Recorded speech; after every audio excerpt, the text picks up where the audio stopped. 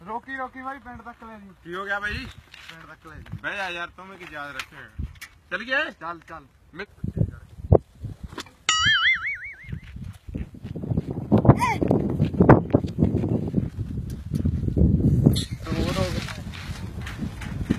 ਯਾਰ ਮੁੰਡਿਆ ਜ਼ੋਰ ਜਿਹਾ ਇਦਾਂ ਲੱਗਦਾ ਜਿਵੇਂ ਪਿੱਛੇ ਗੱਡਾ ਜੁੜਿਆ ਹੁੰਦਾ ਯਾਰ। ਨਹੀਂ ਨਹੀਂ ਕੋਈ ਨਹੀਂ ਜੋੜਿਆ ਬਹਿਵਾ ਤੈਨੂੰ। ਯਾਰ ਨਹੀਂ ਯਾਰ ਬੈਰਾਂ ਕੇ ਟੁੱਟਿਆ ਲੱਗਦਾ ਕਿ ਨਹੀਂ? ਨਹੀਂ ਬਹਿਵਾ ਤੈਨੂੰ। ਭਾਰ ਤੇਰਾ ਕਿੰਨਾ?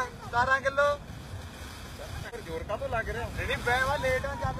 ਚੱਲਦੇ ਆ ਚੱਲ ਪਿੰਡ ਤੈਨੂੰ ਮੈਂ ਲੈ ਜੂ ਹਾਂ, ਹਾਂ। ਪਰ ਕਿਸੇ ਨੂੰ ਦੱਸਣਾ ਨਹੀਂ ਇਹ ਜਿੱਲੇ ਤੱਕ ਜ਼ੋਰ ਹੈ ਨਹੀਂ ਇਹਦੀਆਂ ਚ।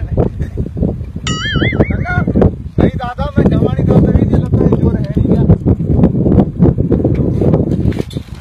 ਯਾਰ ਜ਼ੋਰ ਜਾ ਫੇਰ ਲੱਗਿਆ। ਹਵਾ ਚੈੱਕ ਕਰਨੀ ਪੈਣੀ ਹੈ ਨਾਲੀ ਪੁੱਤਰ ਬੈਠੇ ਬਹਿ ਜਾ ਸਾਈਡ ਤੇ ਹੋ ਕੇ। ਯਾਰ ਪੱਟਾ ਦੋ ਚੱਲਦੇ ਨੇ ਹੈ ਨਹੀਂਗਾ ਬਾਨੇ ਕਦੋਂ ਲਾਈ ਜਾਂਦਾ?